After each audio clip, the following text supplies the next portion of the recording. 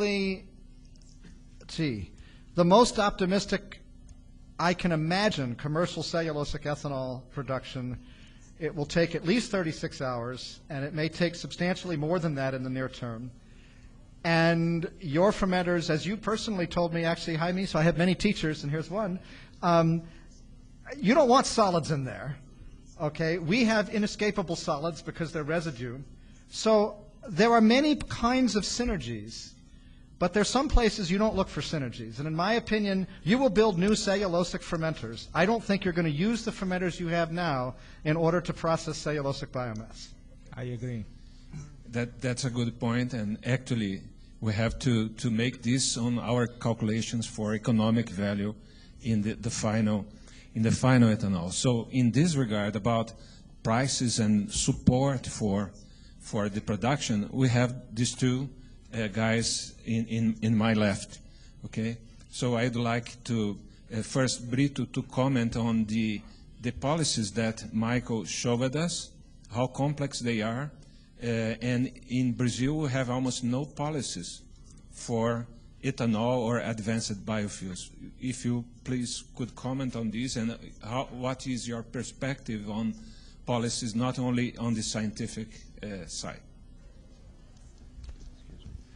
Uh, well, you're right. There are.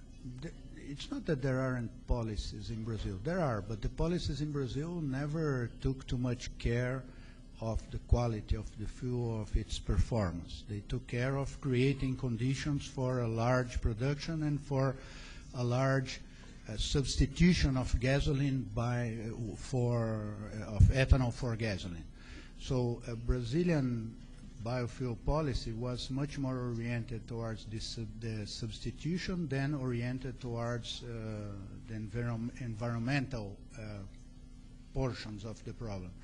And now I believe that Brazil is going to change that because the world is going to have Brazil change that. Unless Brazil wants to remain isolated from the world and producing ethanol for itself, then we don't have to worry about what the world is thinking about that. But if Brazil wants to produce ethanol and sell it to some countries in the world, we will need to improve a lot our understanding of the environmental, social impacts of, of producing ethanol, and we will need to have appropriate policies to deal with that. That's why our program at FAPESP has the fifth division, which exactly tends to deal with that. And one example, as I mentioned, was that case of demonstrating that sugarcane ethanol can fit into the one of the buckets that Michael has shown in his slide, which is the advanced biofuels bucket. It's not something that you just make some hand-waving arguments and people believe it's an advanced biofuel. It's actually an engineering and scientific endeavor to demonstrate that your energy balance is decent, that your environmental impact is controlled, and that your, your molecule, your feedstock, and your, your whole operation fits within what the United States defined as advanced biofuel. So it's a whole new ball game for Brazil.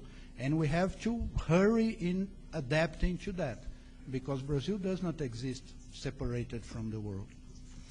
Michael, would you please uh, uh, comment on this and also say us something about the scientific support for advanced biofuels in, in the United States, USDA and USDOE, okay? Sure.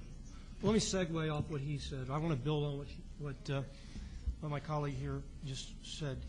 First of all, we have a set of policies on the book, legislative policies, that were born out of 20 years ago.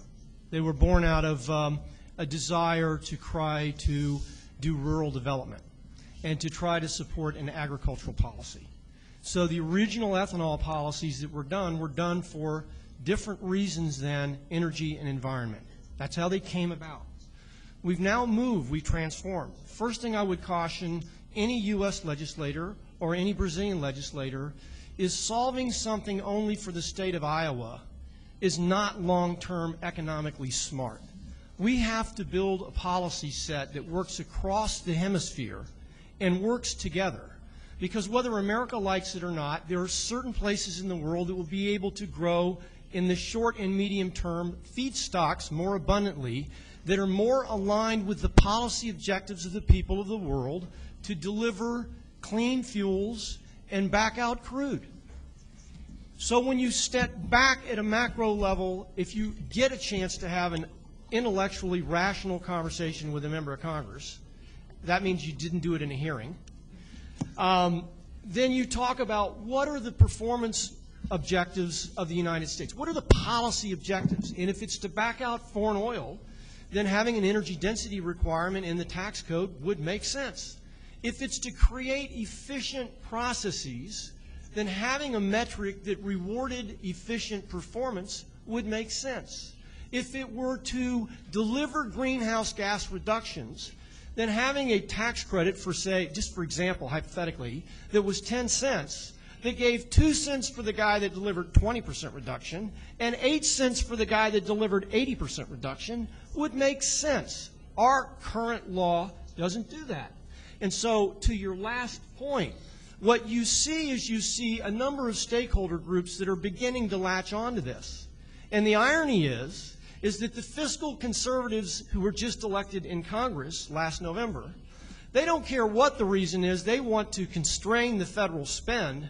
So they're looking to shrink the current credits or subsidies or what have you, the special treatment would, would be their nomenclature. Okay?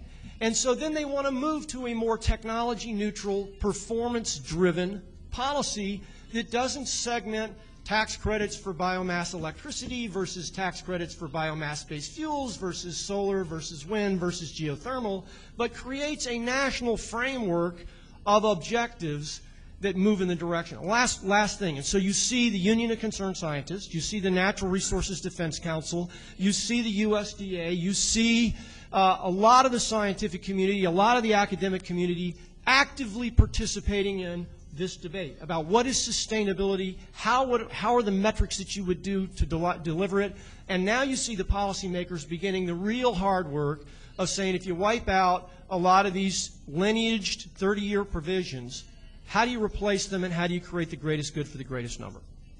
Very good, Michael. So I think if, if one of the panelists want to make one question to other panelists, we have the opportunity now. Otherwise, I will open to. Ok. É, pessoal do suporte tem. É, é, ok. Então, por favor, é, da audiência, quiser fazer uma pergunta rápida, tem, temos uma pergunta aqui à esquerda. Por favor, se identifique e faça a pergunta é, curta, por favor. Uh, my name is, is. I work for uh, Prozin uh, uh, Biosolutions. I have two questions actually. Um, unfortunately, it's, it's not uh, short, but uh, let- let's try. Uh, first of all, we are discussing uh, ethanol cellulose, and we are seeing that um, for the first time ever, Brazil imported uh, ethanol. You know, the biggest country in the world importing ethanol. And just because the fleet of, of cars, new cars, flex cars, are growing uh, too much, and I don't think that the current ethanol production, first generation or second generation, will not respond that that address that needs in the short terms. So reading the newspapers and uh, listening to some specialists, there will be shortage of uh, fuel, gasoline, because alcohol is used in, on gasoline as well. So what, what would be the answer to, to that uh, challenge?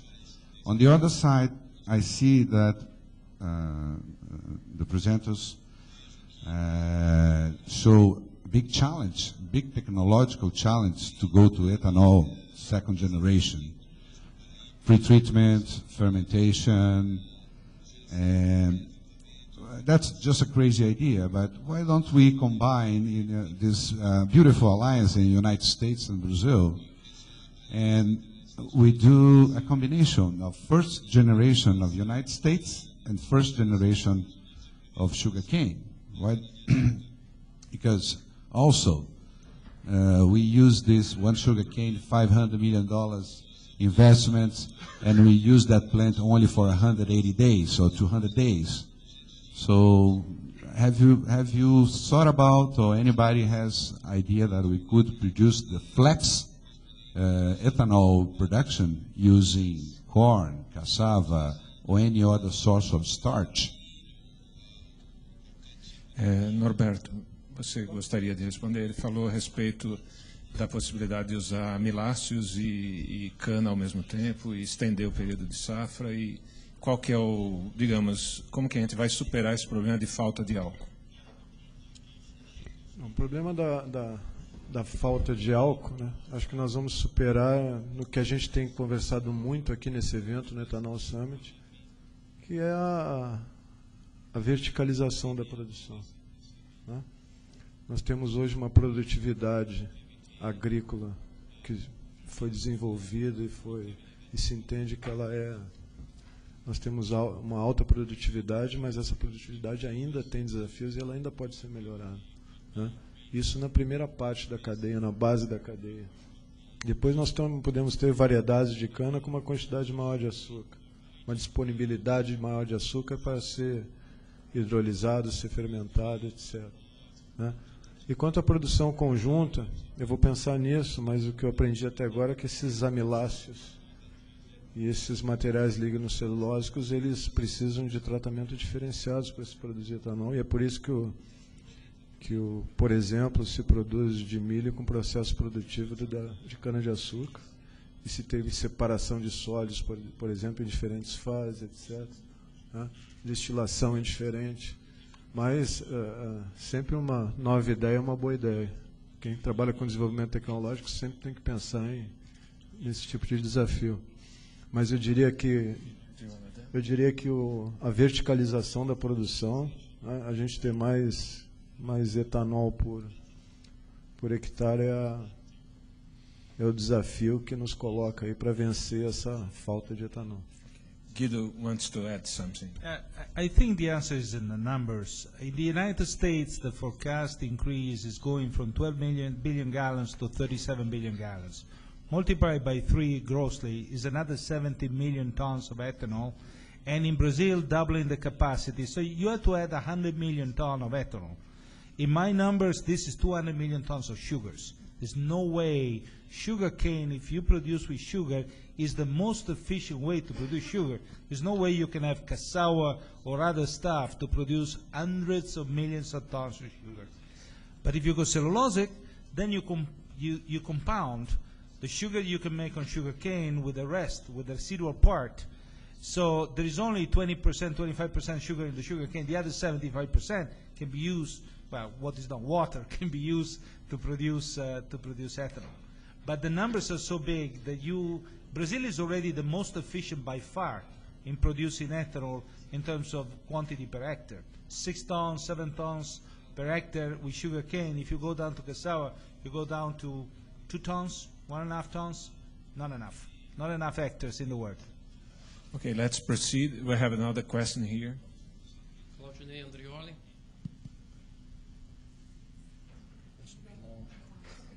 You know him? Claudinei, Claudinei Andrioli, presidente da Sociedade Ibero-Americana para o Desenvolvimento de Biorefinarias. Ah, suponhamos que tenha- tenhamos hoje tecnologia pronta de etanol de celulose, sem risco de investimentos para os empresários. Qual seria a demanda caso, falando no caso do Brasil, de bagaço de cana necessário. E coloco agora. Hoje a usina no estado de São Paulo utiliza praticamente 80% do bagaço para rodar suas próprias energias e vapor para tocar a usina. Apenas 3 a 4% do bagaço ainda hoje, por causa disso, da ineficiência da termos das, das caldeiras, você não tem bagaço suficiente para